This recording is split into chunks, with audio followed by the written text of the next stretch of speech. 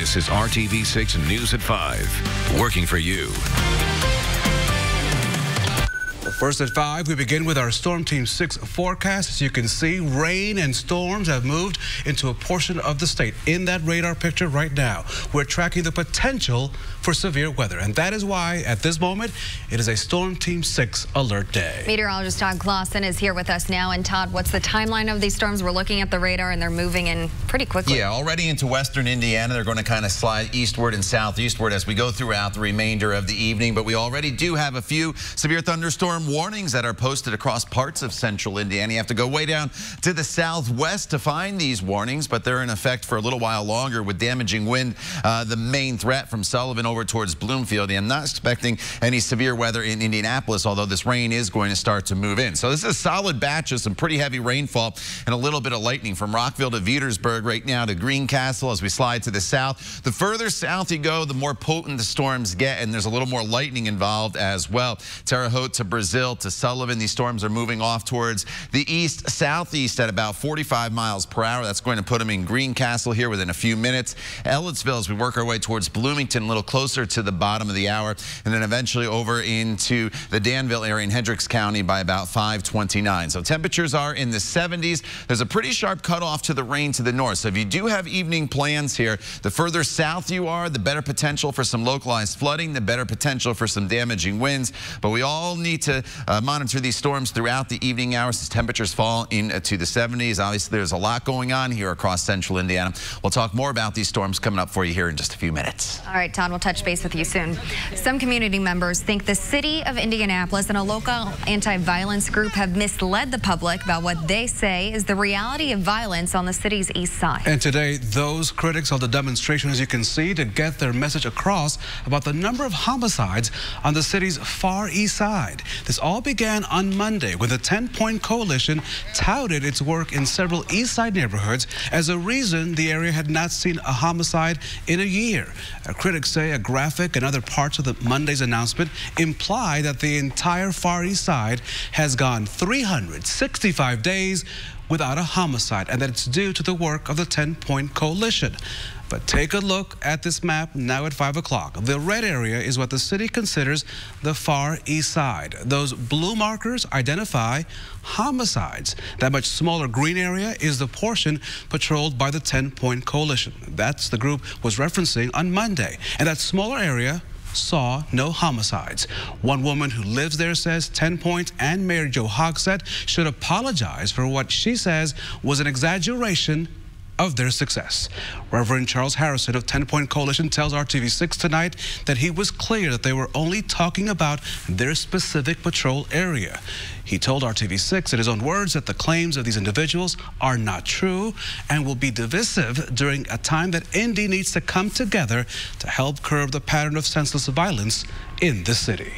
And tonight, Eastsiders tell RTV6's Cameron Riddle they feel the city of Indianapolis is ignoring their friends and family killed by violence.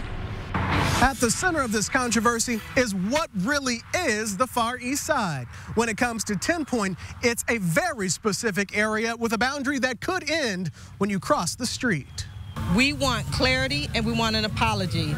These families have been disrespected. I just read off 20 names of individuals that were victims of homicide in the official Far East Side area. One, two, three.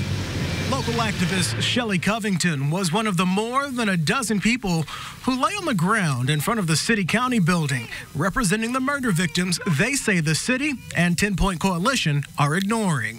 It's a disservice to our community. It's disservice to the families who has lost a victim on the Far East Side. It's a disservice to my family. We have lost a family member. Tonight on the news at 6, we talk to 10 Point leader Reverend Charles Harrison as he explains exactly where the low homicide numbers come from. In Indianapolis, Cameron Riddle, RTV6. Uh, tonight at 5, the history for the Indianapolis Public Schools. Today, the state's largest school district named Aleesia Johnson their new superintendent.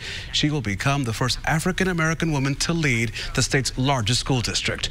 Johnson has served as interim superintendent of IPS since January, but today the district promoted her to the full-time role. During Johnson's six-month tenure as interim superintendent, IPS created the Family and Community Engagement Team to listen to and learn from families and the community to cultivate student success. Johnson spoke to RTV6 today about what this means for her and the district. I think of just the impact it has for other African American girls or, you know, all of our kids in general to see a black woman in this place in leadership uh, for the first time in the district's history. Um, that's meaningful for them to know what, in fact, is possible. Johnson is a Hoosier native. She is from Evansville. She has been an educator for more than 16 years and has worked in a number of roles in Indianapolis, including four years with IPS, where she most recently served as deputy superintendent for academics. A Southside man is sharing this video here, hoping to catch the people seen smashing the windshield of his wife's car. You can see five young men walking down the alley behind Minister Russ Smith's home Wednesday night. They pass his wife's car, but then one of them comes back, climbs on the roof of the car, and jumps down on the windshield, smashing it. Not only was that car windshield smashed, the one next door was too. Smith shared the video on the Ring website for neighborhoods. He wants the person who did the damage caught. Retribution is not my thing, but I think they need to understand that this has a cost. They need to understand that there are consequences to actions like that. You want them to turn themselves in? Uh, I think it'd be better for them if they did. Uh, if if it comes out that they are involved in this and then they do something else, it's just going to go much worse on them. And this all happened in the 2100 block of South Delaware. Smith has not filed a police report yet. The car belongs to the company his wife works for, and she's out of town. Again, he would like the person who smashed it to buy a new one. A Canby man is facing a legal fight over accusations that he's connected to an animal fighting ring. Owen County prosecutors have filed charges against Martin Anderson. Anderson's properties in Poland and Canby were under surveillance since police received a tip back in August of 2018. Court documents say police found signs of animal fighting activities and led to the removal of hundreds of animals. Now, Anderson is facing multiple criminal charges, including promoting an animal fighting contest. He is now set to go on trial in October. Still ahead at 5.30 on RTV6, many families get into debt while paying for childcare over the summer. Working for you, our Scripps team finds some low-cost options. But first, a warning for all cell phone and tablet use users. That's just about everyone. The health concern now emerging, what you have to see to believe. And Amanda, a line of thunderstorms making their way into central Indiana at this hour. We have a few thunderstorm warnings to the south. We'll talk about the threats and the timeline as these storms move through on your Friday evening. Coming up in main weather in just a few minutes. Thousand mile warranty and Honda of Fishers. Welcome back to the news at 5 on RTV6. Tonight, President Trump explains his decision to abort an attack against Iran. He says after they shot down an unmanned American drone, it wasn't, quote, proportionate to go through with the plan that could have killed 150 Iranians. Congress is now reacting. ABC's Trevor Ault with what's happening in Washington, D.C.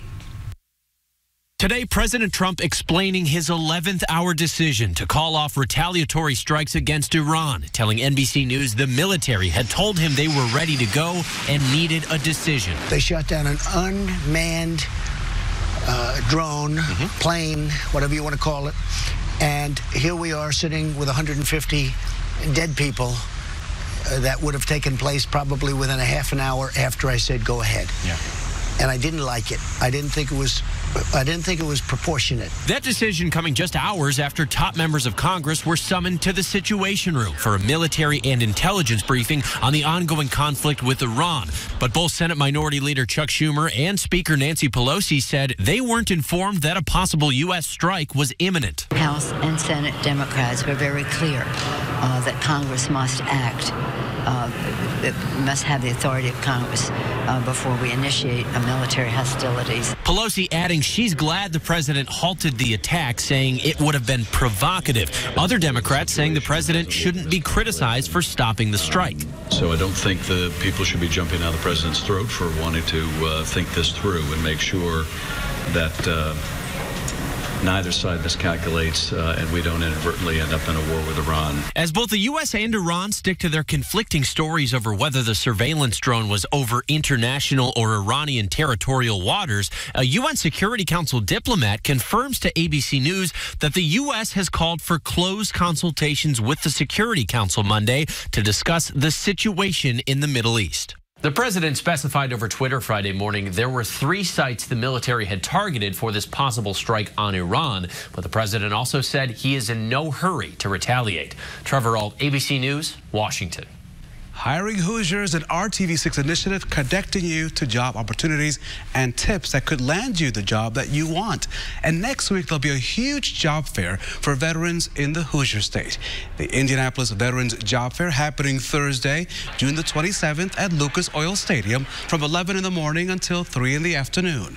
Many companies from different industries will be, will be there looking to interview you and potentially make hires. Now, to register for that job fair and to learn more about what you can expect, we have a link on our website, hiringhoosiers.com. Working for you, a warning as we head into fireworks season. The Indiana Department of Insurance says if shooting fireworks is banned in your county and you cause accidental damage, it may not be covered by your homeowners or renters insurance policies. Now, just keep that in mind before you shoot off fireworks for your Independence Day celebrations to avoid any surprise bills. As you get ready for your summer vacation, what are your plans for your pet?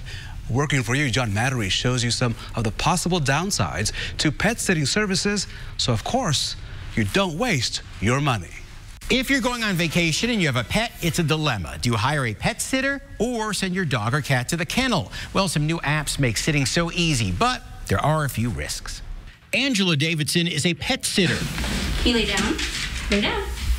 She's a top rated sitter for Rover, a sort of Airbnb for pets. For around $40 a night, she watches dogs for families on vacation while keeping an eye on their house, too. People just want somebody that can not only house sit, but pet sit also. And it kind of gives them a peace of mind that they know that their house is being cared for. Rover and competitor WAG appeal to people like Cecily Necht, who don't want to leave their beloved pet in a strange place. Not, not for a weekend or anything while I'm away. With pet sitting, your dog or cat gets to stay in the comfort of their own home. There's no worry about the stress of being in a strange place surrounded by other animals. But these services have downsides. Rover's been sued for dogs dying under a watcher's care. Some people complain of money and personal items disappearing. To protect yourself, the Better Business Bureau suggests you meet personally with any Rover sitter before hiring them. Read their reviews carefully and look for sitters who have passed Rover's enhanced background check, not just the basic one. But if you don't like the idea of a kennel, this is a way for them to have some comfort of their home versus going to a kennel where there's lots of barking and they don't understand what's going on. A sitter like Angela can take the stress out of your vacation for both you and your pet. Rover says thousands of people have hired its sitters millions of times and in most cases are completely happy. Whatever you do, don't waste your money. I'm John Matarese for RTV6 and working for you with an important and kind of disturbing health alert. So new research shows that what I'm doing right now during the newscast, ignoring Amanda, which I shouldn't be doing because she's great to work with, looking down at your phone could give you so-called head horns. What's that? An Australia survey of 1,200 x-rays found that 33% had horn-like growths on the lower part of the skull just above the neck. I mean, who wants that? The study only looked at people wow. 18 to 30 years old. Medical experts say they think repeated forward tilting of the head during phone or tablet use lengthens and strains tendons, mm. stimulating these bone spur-like growths. It's not just about the spur, it is about the underlying structures. And this is a, the spur is a warning sign. It is a flashing light that is reminding us that there is poor underlying posture in this region. So skeptics point out that there's no proof of phone use causing these growths. I'm going to stick with the skeptics on this one. but some researchers say this might be a sign humans are physically evolving because of technology. We'll see what happens. In other local news, Colts owner Jim Irsay continues to add to his rock and roll collection. And as you can imagine, it is not cheap. Irsay went on a spending spree at the David Gilmour Guitar Collection auction at Christie's in New York. Gilmour is a legendary guitarist for Pink Floyd. Irsay spent around $4 million for the guitar known as the Black Strat.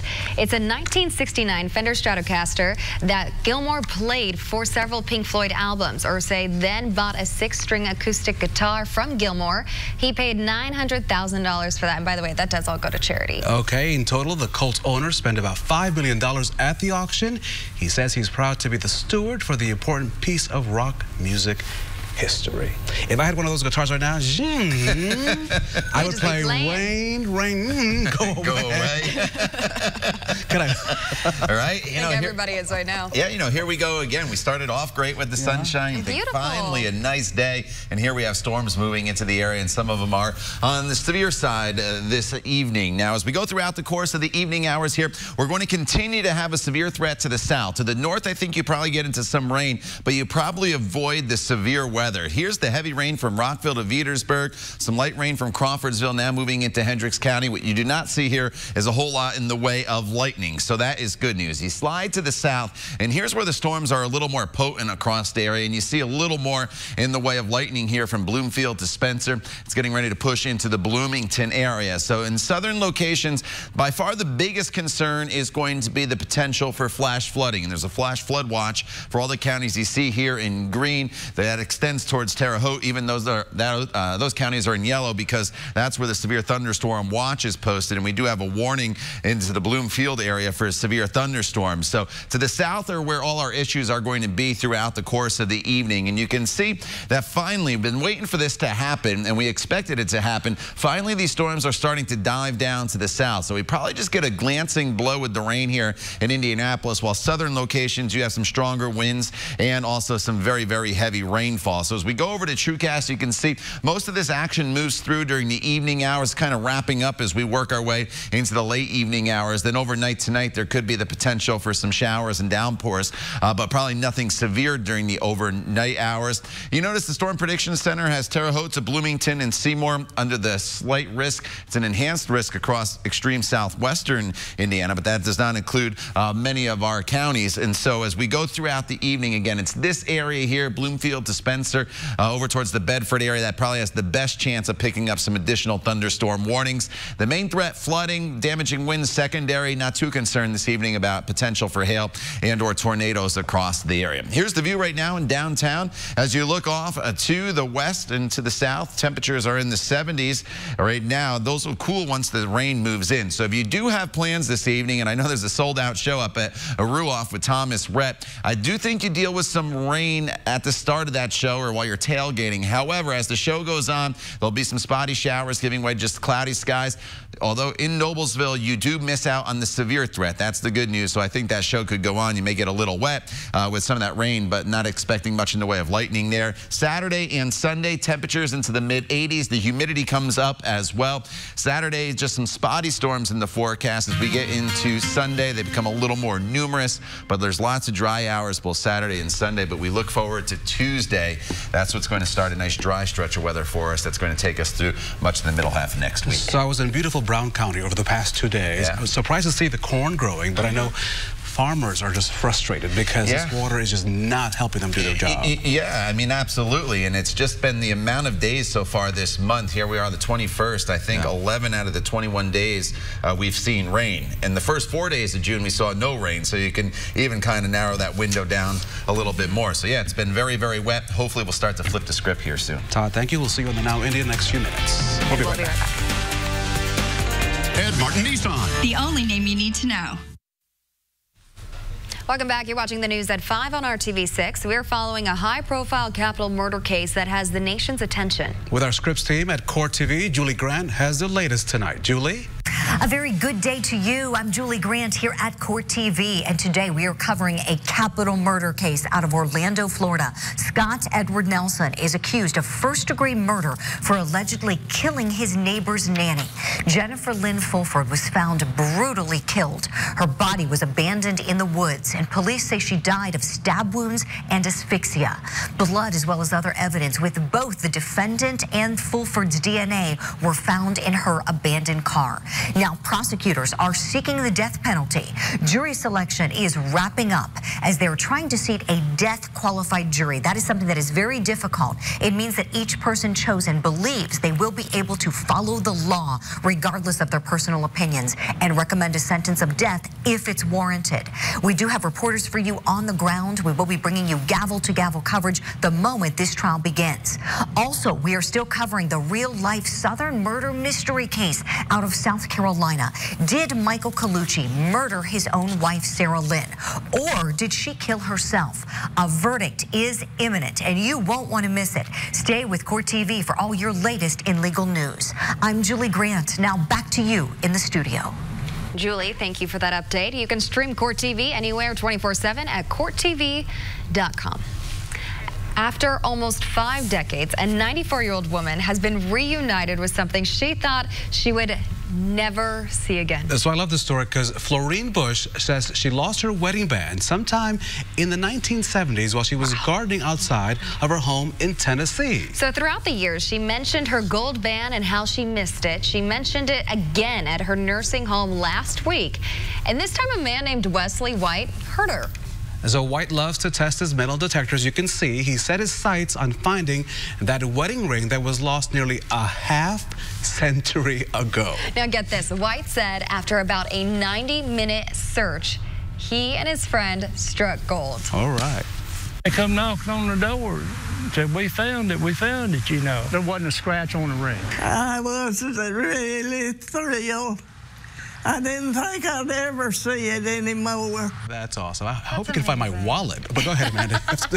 well, Florine Bush's son says he expects the ring to be passed down and become a family heirloom. I need him to find my wallet and my car keys next time. I'm going to call him next time. Good luck to her. But first, on the Now Indy coming up, this weekend can give, you can give some cats and dogs in need a forever home. Working for you, what you need to know before you go and adopt. You're watching RTV6 News on this Friday.